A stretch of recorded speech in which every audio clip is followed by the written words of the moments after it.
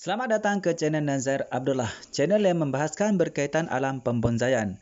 Pada perkongsian video tutorial pada kali ini, saya akan kongsikan kepada anda semua salah satu cara kita menanam stek daripada cabang pokok bugambil dengan tiga warna. Baiklah teman-teman, sekiranya anda ingin mengetahui apakah cara yang saya akan kongsikan kepada anda dalam video tutorial pada perkongsian saya pada kali ini, pastikan anda terus mengikuti perkongsian saya ini dari mula hingga selesai. Baiklah teman-teman, untuk perkongsian saya ini kali ini saya akan kongsikan kepada anda cara kita menanam stek cabang daripada pokok bergembil tiga warna yang bermahinan. Baiklah teman-teman, sebelum itu pastikan anda aktifkan tombol notifikasi untuk membantu perkembangan channel Nazar Abdullah. Terima kasih. Baiklah teman-teman, kita akan teruskan kepada tutorial yang seterusnya. Okey, baiklah teman-teman, di sini saya menyediakan tiga jenis daripada pokok bougainville ataupun pokok bunga kertas, iaitu terdiri pada warna orange satu, warna putih satu dan warna merah satu. Di sini ada gabungan tiga warna pokok bougainville di mana insya-Allah teman ke depannya kita akan memperolehi pokok bougainville dengan tiga warna seperti ini okey tiga warna iaitu warna putih, orange dan merah. Okey, baiklah teman, kita ke langkah seterusnya. Okey, untuk teman-teman yang ingin menanam pokok bergembil ataupun pokok bunga kertas ya memiliki tiga warna yang berbeza dalam satu pot ataupun satu pasu, ini adalah merupakan salah satu yang anda boleh lakukan ataupun praktikan. Okey, pertama sekali teman-teman apa yang anda perlu lakukan di sini adalah anda hendaklah pergi mencari pokok bugambil ataupun pokok kertas yang mempunyai warna yang berbeza. Cari tiga jenis pokok yang memiliki warna yang berbeza ya. Pergi warna yang berbeza. Okey. Kemudian pastikan pokok tersebut mana pokok yang dalam keadaan yang sehat ya, yang tidak ada penyakit yang sehat. Okey. Kemudian apabila anda mengambil cabang daripada pokok tersebut, pastikan anda mengambil cabang pokok yang sudah pernah berbunga. Okey, ingat mana ambil cabang pokok yang sudah berbunga seperti cabang ini teman. Ini adalah sudah berbunga ya. Sudah berbunga, sudah pernah berbunga seperti ini. Okey. Ini mengapa teman? Ini adalah uh, untuk memastikan stek daripada cabang yang kita ambil daripada pokok induk bergembir tadi teman ya akan mudah untuk berbunga kerana ia sudah pun pernah berbunga. Okey, perkara yang ketiga teman-teman ya, apa yang anda perlu lakukan ialah Okey, pastikan anda jangan mengambil bahan stek yang terlalu muda. Ya, terlalu muda. Ambil stek yang matang. Okey. Bagaimana keadaan stek yang matang, teman? Keadaannya sudah agak berwarna coklat ketua-tuaan ini. Eh, tergantung kepada jenis bunga teman. Tergantung kepada jenis bunga. Sebab kadang-kadang ada bunga bunga bedi yang uh, cabangnya kelihatan agak tua ya agak coklat coklatan itu tua. Ada juga yang agak keputih-putihan kehijauan. Sudah tua. Tapi kita lihat seperti masih bunda. Seperti ini teman. Ini adalah contohnya teman ya. Ini adalah contohnya daripada plastik. Kita uh, saya ambil daripada uh, tiga jenis pokok bugambil ini teman. Okey contoh ya teman ya. Kita lihat bersama contohnya. Ini adalah contohnya teman-teman. Okey. Ini kita lihat ya agak hijau sedikit tapi ini sebenarnya sudah ada agak tua teman agak matang ini agak kecoklatan sedikit dan ini ada keputihan sedikit ya anda nampak perbezaan di antara tiga jenis pokok ini ini adalah cabang daripada pokok bugambil ataupun pokok mengkertas yang berwarna oranye putih dan merah okey lepas tu teman-teman apa yang anda perlu pastikan ialah Jangan memotong cabang atau stek tersebut terlalu panjang. Okey, cukup anda memotong sejengkal lebih kurang macam ni. Lebih kurang sejengkal macam tu, lebih kurang sejengkal. Okey, macam tu. Okey. Dalam mungkin uh, 10 cm ataupun 8 cm macam tu, lebih kurang macam tu ya, panjang. Cukup, jangan terlalu panjang. Okey. Kemudian teman-teman, apa yang anda perlu lakukan ialah sebelum anda menanam stek ini teman-teman ya. Okey, pastikan anda memangkas atau pruning dulu. Anda pruning dulu daun-daunnya teman, daun-daunnya ataupun uh, durinya. Anda potong durinya, buang duri ini. Ini adalah untuk keselamatan teman. Ini adalah untuk keselamatan. Okey. Di mana saya sudah melakukan pemangkasan pada daun ini teman. Jadi sini tak ada sudah tak ada daun lagi saya sudah pangkas. Okey, kita pruning daun ataupun kita potong duri-durinya. Ingat teman ya, potong semua duri yang ada pada cabang pokok bergembil ini. Okey, kita potong semua duri. Ini adalah untuk keselamatan. Kerana duri pokok bergembil ini sangat tajam ya teman. Boleh menyebabkan tangan kita terluka. Jadi kita perlu memotong. Okey, kita potong saja ya. Duri-duri tersebut.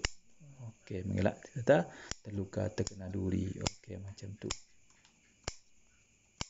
Okey, baiklah teman-teman. Selesai kita melakukan pemangkasan daun dan duri seperti ini ya. Okey. Seperti ini kita sudah selesai melakukan pemangkasan daun dan durinya macam ni. Okey, sekarang apa yang kita perlu lakukan ialah kita akan saya sedikit bahagian pangkal bawah ni. Kita akan set bahagian ni ya. Kita akan set sikit bahagian ni. Mengapa kita perlu melakukan penyihatan bahagian ni? Ini adalah untuk membantu memperbanyakkan tumbuhnya akar nanti. Jadi kita set menggunakan pisau yang tajam. Ingat teman, gunakan pisau yang tajam ya. Okey, kita buat macam tu. Ini adalah untuk membantu memperbanyakkan akar-akar tumbuh. Ha, di sini nanti. Nampak tak?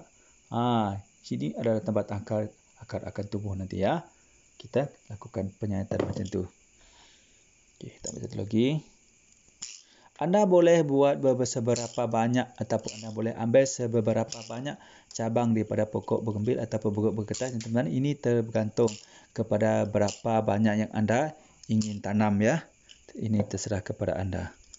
Di sini saya sudah sediakan beberapa uh, cabang daripada stek pokok bergembil ini teman-teman ya. Saya akan tanamkan sama nanti dalam perkongsian berikut. Okey. Apabila kita sudah selesai melakukan penyihatan seperti ini teman ya. Sini ya. Okey, kemudian kita akan untuk proses membantu mempercepatkan pertumbuhan akar teman anda boleh menggunakan serbuk perasan akar yang semula. Jadi ataupun anda boleh menggunakan serbuk akar yang kita beli di toko-toko penjualan tanaman bunga. Okey, di sini anda juga boleh menggunakan bahan perasan akar ataupun pertumbuh akar seperti bawang merah, bawang putih, ya, bunga lidah buaya, buaya ataupun anda juga boleh menggunakan air hujan ataupun air sumur. Itu merupakan beberapa jenis bahan perasan akar yang boleh anda gunakan untuk mempercepatkan tumbuhnya akar pada banstek cabang pokok bergembil ada ini. Okey. Untuk perkongsian kali ini teman saya akan menggunakan serbuk perasan akar ya sebagai pembantu pertumbuhan akar. Okey, bagaimana caranya teman? Anda ambil sedikit, mungkin okey di sini saya sudah sediakan beberapa teman-teman, beberapa cabang daripada uh, stek pokok bergembil ni teman. Ni saya sudah sediakan beberapa cabang ya dan saya sudah pun uh, melakukan penyataan di hujungnya dan setelah meletakkan serbuk pasang akar tadi ni teman. Kita mengambil serbuk pasang akar ni tadi ya. Kita masuk ke dalam bekas. Uh, lebih kurang kita menggunakan satu sendok makan dan juga kita menggunakan air satu sendok makan. Kita gunakan air, air hujan teman ya. Kita masukkan. Lepas tu apa yang kita lakukan teman-teman ya? Kita kita masukkan hashtag tadi ya. Ini teman yang kita lakukan penyihatan tadi. Kita masukkan. Kita celupkan ke dalam uh, serbuk perasa ni kita biarkan ya lebih kurang 10 hingga ke 15 macam biar ya betul-betul meresap ya. Macam tu kita masukkan lagi. Macam tu okey biar terkena semua bahagian kita melakukan penyayatan tadi ingat ya. Ha itu macam tu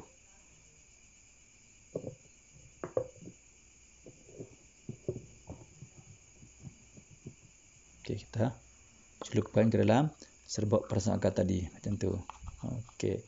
Kemudian kita berak, biarkan dahulu selama 10 hingga ke 15 minit biar uh, serbuk perasaan akar itu benar-benar meresap pada bahagian stek cabang pembil yang kita lakukan penyayatan tadi. Okey.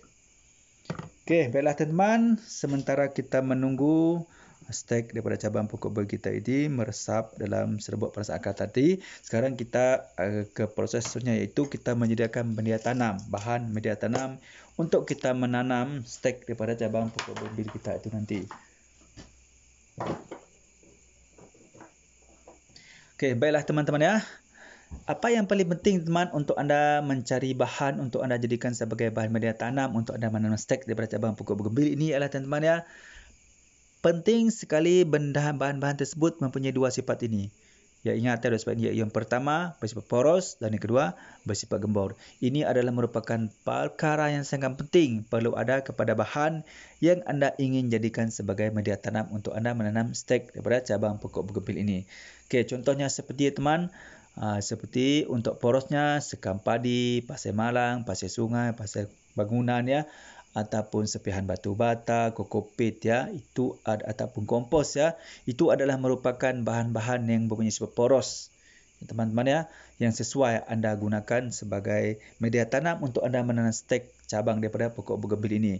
Dan bahan-bahan yang mempunyai sifat gembor pula ya teman seperti pasir kasar ya, kompos ya, Ah, pasir malang, sebahagian batu bata, kokopit dan juga seperti sekam padi itu juga merupakan antara beberapa bahan-bahan yang mempunyai sikap gembor. Kenapa kita perlu menggunakan bahan untuk kita jadikan sebagai media tanam untuk kita menanam stek daripada cabang pokok bergembil ini teman-teman ya bersifat poros. Pertama sekali teman ini adalah untuk membantu melancarkan proses pengalian air di dalam pot ataupun bekas tempat kita menanam stek daripada cabang pokok bergembil kita ini semasa kita melakukan penyiraman. Okey, itu adalah mengapa. Ini adalah untuk mengelak berlakunya air berlebihan ataupun air bergenang di dalam pot tersebut dan menyebabkan media tanam kita menjadi basah. Ya, dan apabila media tanam kita menjadi basah, ini akan menyebabkan hashtag daripada cabang pokok bergembira kita akan menjadi busuk buruk dan kemudian mati dan stek kita tidak akan tumbuh. Ha, ini adalah mengapa ataupun alasan mengapa kita perlu mencari bahan yang mempunyai sifat yang poros untuk kita jadikan sebagai media tanam untuk kita nanam stek daripada cabang pokok bergebil ini. Okey, sifat yang kedua tadi ya teman-teman itu sifat gembor ya. Sifat gembor ini berperanan untuk mengekalkan ruangan udara dan oksigen yang banyak di dalam media tanam yang kita gunakan untuk menanam daripada cabang pokok bergebil kita ini di mana dan mana apabila anda menggunakan bahan yang mempunyai ruang udara dan oksigen yang banyak di dalam media tanam tersebut ini akan membantu mempercepatkan tumbuhnya akar pada stek cabang pokok bunga kita. Mengapa ini berlaku teman? Kerana ini berlaku dan terdapatnya ruang-ruang oksigen dan udara yang banyak di dalam media tanam tersebut terutamanya kita menanam dalam pot ataupun bekas ya teman. Ini sangat membantu mempercepatkan proses pertumbuhan akar di stek cabang pokok bunga kita. Jadi itu adalah mengapa kita perlu menggunakan bahan-bahan yang mempunyai sifat yang poros dan gembor untuk kita menanam stek cabang pokok bugambil kita. Okey, baiklah teman-teman di sini uh, kemudian kita perlu menyediakan bekas ya teman-teman untuk penanaman dalam tutorial video saya kali ini saya menggunakan pot plastik teman-teman. Besar sederhana saja ini kecil saja. Yang penting yang penting teman di bawah tu pastikan anda menembak lubang ya ini okey? Pastikan anda menembak lubang di bawah tu. Ingat ya jangan tidak mempunyai lubang. Ini boleh menyebabkan air bergenang dalam pot kita dan ini boleh membunuh stek kita. Okey? Lepas tu gunakan perangkat nyamuk ya untuk menutup lubang pada pot tersebut. Ini adalah untuk mengelak media tanam keluar daripada pot kita. Okey itu bekas tadi. Anda juga boleh menggunakan bekas-bekas lain teman seperti bekas botol ya, seperti polypack ataupun anda terus menggunakan pot boleh juga ya. Pot batu ataupun plastik itu terpulang kepada anda. Yang penting di sini teman bahan tersebut ataupun benda tersebut dapat kita gunakan sebagai bekas untuk kita menanam stek daripada cabang pokok bumbil kita. Okey. Berkaitan media tanam teman-teman ya, di sini saya menggunakan terdiri pada uh, anda juga boleh menggunakan tanah subur saja, teman, tanah subur saja ataupun kompos saja. Ha, anda boleh menggunakan kompos daripada bunga daun-daun ataupun dahan-dahan daripada pokok kelapa sawit yang sudah lama mereput teman ya itu adalah sangat ataupun anda boleh menggunakan tanah kompos daripada daun-daun yang sudah buruk dan lama terproses. Ataupun anda boleh menggunakan tanah subur daripada pohon bambu ataupun pisang eh, pohon pisang teman boleh. Semi uh, kesemua bahan-bahan tersebut boleh anda gunakan sebagai media tanam untuk anda menanam stek daripada cabang pokok bergombil anda ini. Okey untuk perkongsian video tutorial kali ini teman saya hanya menggunakan uh, beberapa bahan saja teman iaitu tadi daripada tanah biasa saja tanah subur saja teman untuk memudahkan anda menanam ya anda yang penting teman bahan tersebut hendaklah bersifat poros dan gembor. Okey, di mana tanah subur buah di pohon bambu seperti ini atau di pohon pisang seperti ini teman sangat sesuai dan kena ada mempunyai campuran daripada daun-daun bambu ataupun daun-daun pisang. Ya ataupun daun-daun pokok kayu yang lain sudah lama memburuk ya. Dan ia sangat sesuai dan bersifat poros dan gembor dan memenuhi ciri-ciri bahan media tanam yang sesuai untuk kita menanam pokok bergembil cabang daripada pokok bergembil kita. Okey. Ya teman-teman ya. Mudah ya. Mudah. Mudah saja untuk kita mencari bahan media tanam untuk kita nanam stek daripada cabang pokok bergembil. Baiklah teman-teman sekarang kita akan sediakan Okey, kita akan masukkan dulu ya teman. Kita akan masukkan uh, media tanam ke dalam pot kita ini ya. Kita masukkan bismillah. Okey, untuk media tanam ini teman yang ada dalam kedua keadaan sama ada anda menggunakan bahan media tanam dalam keadaan kering, ya kering teman ataupun anda menggunakan media tanam dalam keadaan lembap. Okey, untuk perkongsian kali ini teman saya menggunakan bahan media tanam dalam keadaan lembap. Jadi untuk penyiraman nanti ya teman ya, untuk penyiraman nanti anda tergantung bagaimana keadaan media tanam yang anda gunakan. Sekiranya anda menggunakan media tanam seperti ini ya teman yang adalah keadaan lembap ni, ha, jadi anda tidak perlu melakukan penyiraman ya. Anda tidak perlu melakukan penyiraman. Okey. Tetapi seandainya anda menggunakan bahan media tanam yang dalam keadaan kering 100% ya teman-teman ya. Jadi anda perlu menyiram ya, menyiram media tanam tersebut agar basah 100% ataupun basah 50% menjadi lembap seperti ini. Okey. Okey, teman-teman, sekarang kita masukkan media tanam ini dulu ke dalam pot ini dulu ya.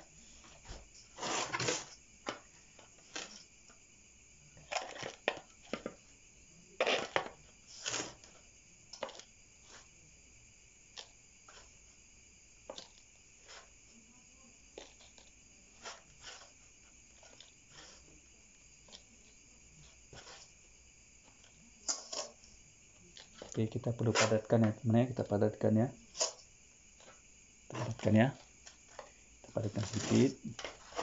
Itu. Masih ingat tak teman-teman, mengapa kita perlu memadatkan media tanam dalam pot ini? Ini adalah bertujuan teman uh, untuk mengelakkan bahan stek kita ini bergoyang ya. Okey, bergoyang. Kerana jika ber, kita ini bergoyang, teman-teman, ini akan menyebabkan stres cabang pokok bunga kita ya. Kita padatkan. Kita masuk lagi ya.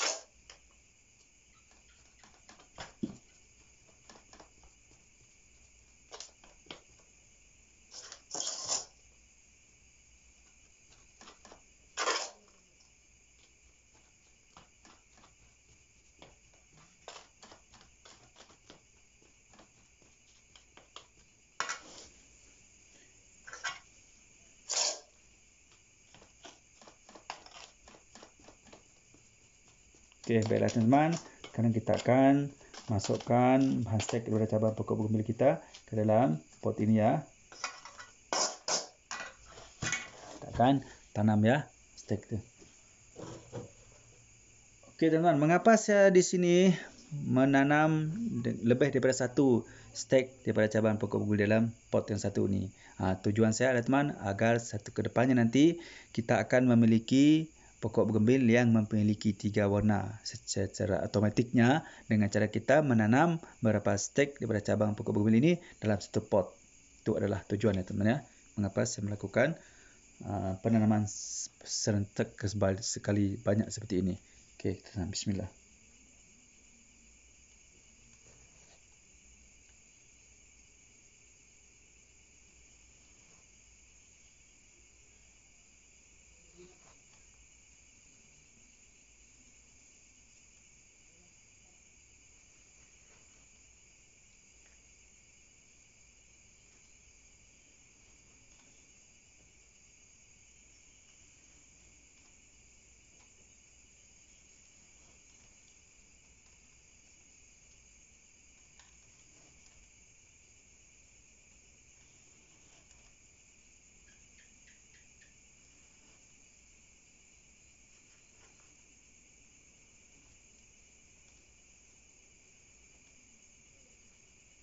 Okey, macam tu teman ya. Ini kita padatkan sedikit ya. Kita padatkan sedikit.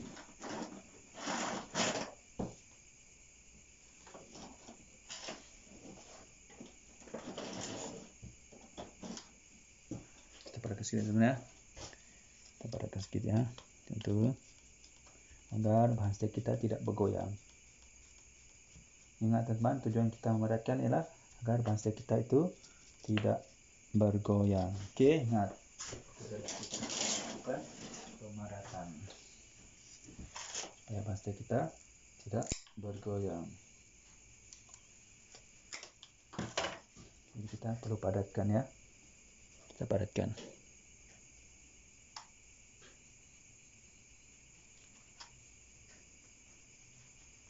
Contoh.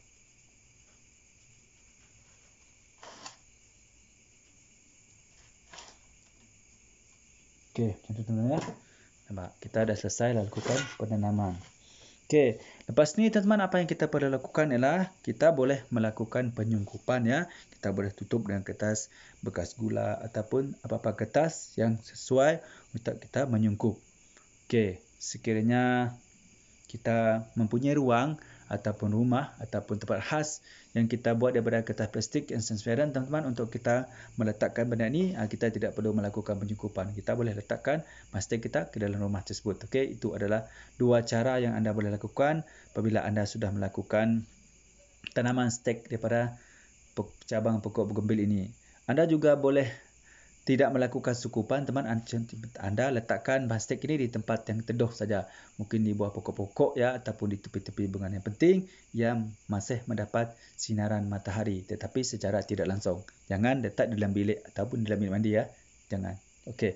Kerana ia tidak mendapat sinar matahari. Kerana secara alaminya setiap tanaman memerlukan sinaran matahari untuk proses fotosintesis bagi yang percepatkan pertumbuhan tunas-tunasnya. Okey, baiklah teman-teman. Kemudian langkah seterusnya apa yang anda lakukan untuk bastek anda ini? Anda hendaklah sentiasa memantau keadaan media tanam ya teman ya. Kemudiannya keadaan media tanam untuk dari hari pertama anda menanam ini teman jangan dulu melakukan penyiraman selepas lima hari ya. Kemudian anda boleh semak bagaimana keadaan media tanam tersebut seandainya sudah dalam kering. Jangan sampai terlalu kering teman, nanti boleh menyebabkan stek anda mati anda boleh menyiram lagi media tanam dalam pot ini selepas tiga hari ya, tiga hari silam sekali.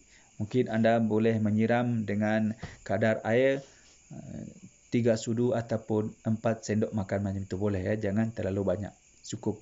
Ini tergantung kepada berapa saiz pot anda guna untuk menanam mastic tersebut. Lepas tu teman, apa yang perlu anda lakukan ialah pastikan Okey, pastikan bahan steak ini selamat daripada gangguan haiwan peliharaan anda, terutamanya kucing dan juga ayam. Itu adalah dua jenis haiwan yang kita selalu pelihara di rumah kita. Jadi elakkan bahan steak kita ini daripada gangguan haiwan-haiwan tersebut kerana jika ini berlaku, teman, mungkin besar kemungkinan bahan steak kita akan mati kerana berganggunya penggoyangan bahan steak kita ini. Okey, lepas tu teman, apa yang perlu lakukan ialah apabila anda melakukan penyungkupan, anda boleh membuka semula sungkupan tersebut selepas 15 hingga ke 20 hari ya. Boleh boleh. Sudah boleh membuka sungkupan. Okey macam tu. Lepas tu teman apa yang anda perlu lakukan ialah pastikan anda ah, meletakkan stek daripada cabang pokok bumbil kita ini di tempat yang selamat. Itu yang penting diletakkan di tempat selamat dan dapat mm, sinaran matahari secara tidak langsung.